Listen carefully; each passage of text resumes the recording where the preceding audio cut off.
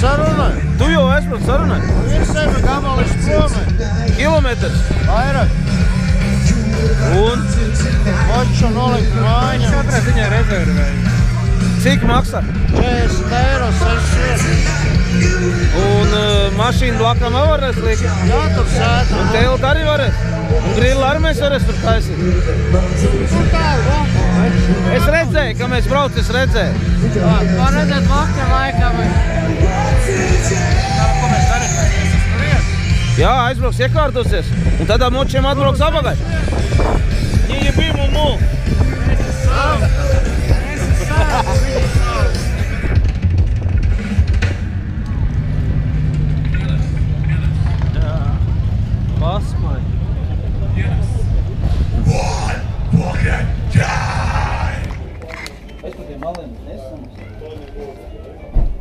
Você não, tá?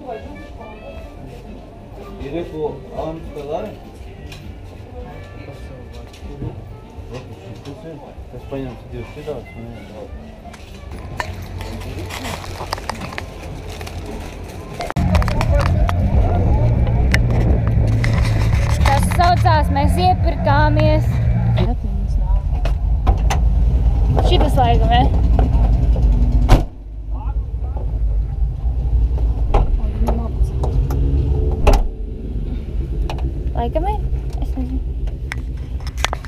Atstāga?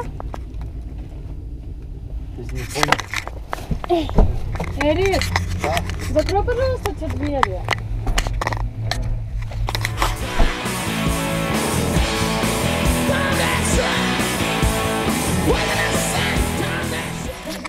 Bet šodien abiprāt, tagad, es nezinu, zin, tā kā būtu kaut kāds pasaules gals.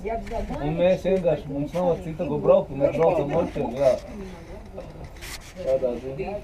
Мы с тобой вышли отсюда. Он не что километр, что не мело, что километр. Да, да, что километр, что километр. Это не мело. А Павел, смотри. Сака, сака, сеч, ано, дриза, букс, нао, нао. Ja, ja, ja. Натурал лайн, браво. Успел, Эй, нас как будет. Женя. Женя. А, еще девушка? Лаура. Лаура. А то мы... Отбьете, потом будет. Нет,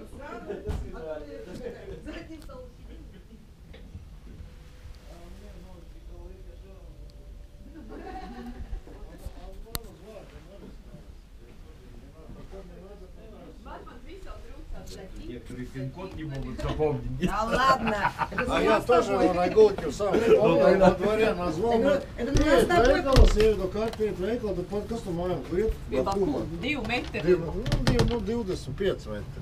Aiziet, nu, nopērš, nav, ko tur. Blin, kas pinkos bija? Tik Все? Даже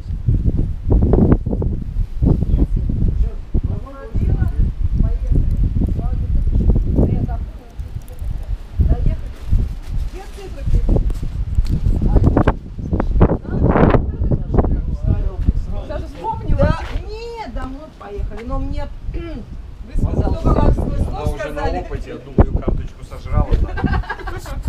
Я говорю, что ты набираешь, если ты не знаешь? Беглабас? Как у моей мамы. И есть? кошельки. Пин-код.